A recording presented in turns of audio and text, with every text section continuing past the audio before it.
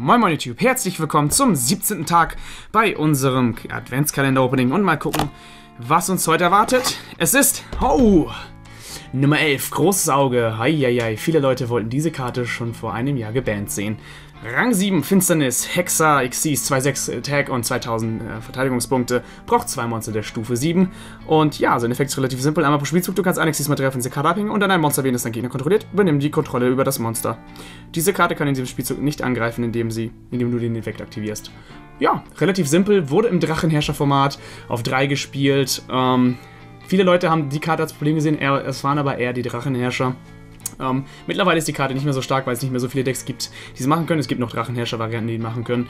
Es gibt Sylvanisch, es gibt ähm, Ma Ma Maschinas oder Machinas, Maschinenwesen, die das manchmal äh, beschwören, aber mh, mm, ja, ist eine sehr, sehr starke Karte auf jeden Fall, äh, dass man gegnerisches Monster einfach äh, klauen kann, ohne irgendwelche Einschränkungen, dass man mit dem machen kann, was man will. Äh, sehr, sehr starker Effekt. Ähm, hat mittlerweile auch schon so viele Reprints bekommen. Hat äh, ein Ultra Rare Reprint in der War of Giants äh, Boxstar Round 2 bekommen.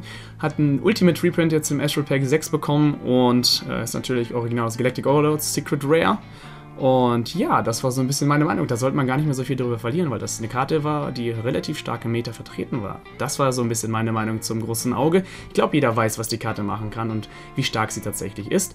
Wir sehen uns dann morgen beim nächsten Opening. Bis dahin, tschüssi.